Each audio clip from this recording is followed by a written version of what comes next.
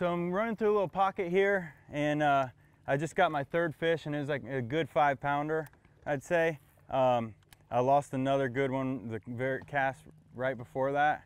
And uh, I'm changing it up. You know, I'm throwing chatterbait. I'm trying to hop it through these little areas where I think the fit. Here we go. Here's another big one. Another good one. Stay on, baby. Stay on. Stay on. Come on. Oh my God, these fish are so strong. Oh. Stay on. Stay on. Stay on. Stay on. Come to Papa. That's another good one. Oh my gosh. Oh my, and that guy just fished this. Like, he just, oh my gosh. Look at that. Oh, this fish is so fat. Oh, that's awesome. That's two, three more. And, uh, and we'll be looking good. Oh my gosh.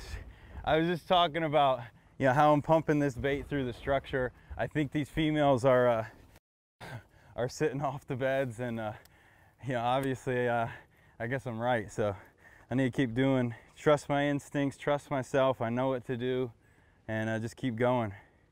So let's retie again. I'm a, I'm a real stickler for retying. I retie a lot, like almost every fish. There's a little bit of tape there. Oh man, that's crazy.